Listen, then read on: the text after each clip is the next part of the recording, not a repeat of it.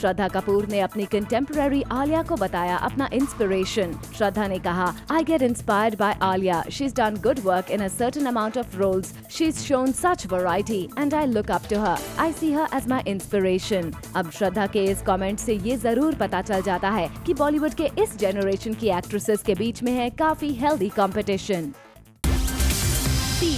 तीस